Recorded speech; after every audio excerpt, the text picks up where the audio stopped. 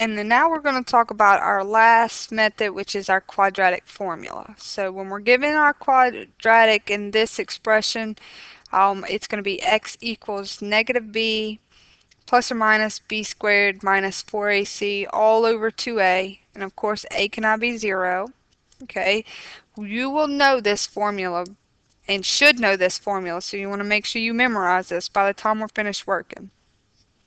Alright, so the first thing we want to do is we want A, B, and C all on the left. So I need to move this 14 over on the left and rewrite this. So x squared minus 5x minus 14 e equals 0. So set it equal to 0. Name your A, B, and C. A is 1, B is negative 5, C is negative 14. And now it's always a good um a good idea to write your quadratic formula each time so that it helps you memorize it. So negative b plus or minus b squared minus 4ac all divided by 2a. Now let's, everywhere there's a variable, let's put a parenthesis in. b squared, whoops, minus 4ac divided by 2a. Everywhere there's a parenthesis, now let's go back and plug in. Everywhere there's an a, put a 1. So 4a c over 2a. Everywhere there's a b, we're going to plug in negative 5. And then where there's a c, we're going to plug in negative 14. So this becomes positive 5 plus or minus. This, I'm actually going to write it above if you'll let me. Negative 5 times negative 5 is positive 25. Negative 4 times 1 times negative 14 is going to be 56. So plus 56. If I went ahead and added these together, go ahead and add them together, then I would have plus or minus the square root of 81 all over 2 times 1 is 2. And I keep going, so I get 5 plus or minus the square root of 81 is just 9. So I want to break this apart. So I'm going to say 5 plus 9 divided by 2. One time with the plus. And then I'm going to write it the next time with the minus, I will say 5 minus 9 divided by 2. 9 plus 5 is going to be 14. Divided by 2 is 7. This is one of our answers. And then 5 minus 9 is negative 4. Divided by 2. And negative 2 is the other answer. So once we get to this point when we want to break it apart, one time using the plus, one time using the minus. Alright, let's work number 15. Pause the video and take a minute to write your formula down. I've already done it. Now let's name, so A is going to be 1, our B is negative 2, and our C is negative 5 in this one. So if I write a parenthesis, everywhere there's a variable, so or I can go ahead and start substituting in. So I have negative, so I write negative, and then B is negative 2, plus or minus b is negative 2 squared minus 4 times a times c all divided by 2a. Alright, right here a negative times a negative is just going to be positive 2 plus or minus and I'm going to, this is a discriminant, I'm going to go ahead and simplify this. A negative 2 squared would be 4 and then I would say negative 4 times 1 times negative 5 is going to be plus 20. So that becomes the square root of 24 over 2. Now I want to go off to the side and see if I can break down the square root of 24. So to do that I'll break it into prime numbers. This is just one method. You can do it however you like. Divide by 2. You would get 12. Divide by 2 you get 6 divided by 2, you get 3. The index of 24 is a known 2. So it means pairs come out. So a, a 2 is going to come out front of the radical.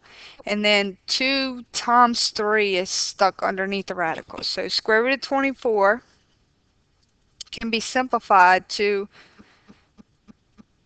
2 square root of 6. So I bring this 2 over. I have 2 plus or minus. I replace square root of 24 with 2 square root of 6. And then I notice that there's a 2 here, here, and here. So I can reduce everything by 2. So I'm going to get 1 plus or minus the square root of 6 over 1 which isn't going to do anything. So I just have this and I write it two times. 1 plus the square root of 6, 1 minus the square root of 6. And this is going to be your solution. Alright, uh, we're going to do our last one. Pause it, write your quadratic formula down. Before I start, I need to make sure I have this set equal to 0. So I'm going to say plus 2x minus 3 equals 0. So I got to shift this. I got to move this to the other side and this positive 3 over. And so now that's what I'm looking at. And I would say A is 2, B is 2, C is negative 3. So pause it. Like I said, pause it. Write your quadratic formula down. And now we're ready to start plugging in. Negative B plus or minus b squared minus 4 times a times c all over 2a. Negative 2 plus or minus less simplify this 2 squared is 4 and then I'm going to say negative 4 times 2 is negative 8 negative 8 times a negative 3 is a positive 24. I mean, yeah, that's positive 24. 8 times 3. So we have a negative times a positive times a negative is a positive 24. Now let's add these together and we would get 28. Square root of 28 over 4. Now we want to go off to the side and see if this square root uh, simplifies. So I'm going to say uh, square root of 28 is equal to what? So prime factor. So I take a 2. It's 14 divided by 2 is 7. So a pair of 2's come out. So a 2 comes out of the radical and a 7 is left underneath the radical. So if I rewrite that, it's going to be negative 2 plus or minus 2 square root of 7 over 4. And then we notice that each of these are divisible by 2. So I would have negative 1 plus or minus the square root of 7 over 2. Now if I had to break this apart to write it, um, like for your homework, it might be negative 1 plus the square root of 7 over 2 comma, negative 1 minus the square root of 7 over 2. So you could write it one time with the plus and then one time with the minus when you list out the two solutions. Alright, so find the zeros using any method we like. I'm going to try factoring with this one because what multiplies to give me negative 35 would be a, a 7 and a 5, but I needed to add to give me a negative 2 and then that just works. So I recognized it, put it over the first term, which is an x, and an x right from the bottom up, that would give me x minus 7, x plus 5 equals 0, and then set this one equal to 0, and you would get positive 7. Set this one equal to 0, and you would move 5 to the other side, so you would get negative 5. Now, I chose factoring just because it's usually, um, if you recognize it for bottoms up, it's a quick hit. Quadratic formula would work, complete the square um, would work, but they're a lot more um, time consuming. So I usually like to try to factor first uh, and then solve by factoring and if I can't I'll usually resort to the quadratic formula. So I'm going to do that same thought process over here. What multiplies to give me a negative 4 adds to give me a 14. Well, the only thing that gives me a 4 are these factors, and this is no way going to give me a 14, nor this. So I know I can't use factoring. When I can't use factoring, I'm going to use the quadratic formula. So that's going to be um, x is equal to negative b plus or minus square root of b squared minus 4ac all divided by 2a.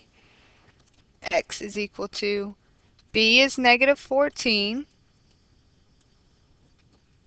plus or minus negative 14 squared minus 4 times a is 1 in this case and c is negative 4 all divided by 2a. So a is 1, b is negative 14, c is negative 4, just as a reminder. So let's go through and calculate this next part. So x is equal to 14 plus or minus. Okay, we're going to work with this. Negative 14 squared is 196, and then negative 4 times 1 times negative 4 is going to be plus 16 which in that case would give us 212 under the radical. Under the all right so square root of 212 we're going to come break down over here so now I'm going to pause it so I can write this out would be this and then when I take a pair out it becomes 2 square root of 53 so I would have x is equal to 14 plus or minus 2 square root of 53 over 2. And then once again, we notice that this is divisible by 2, this is divisible by 2, so we would get x is equal to 7 plus or minus the square root of 53.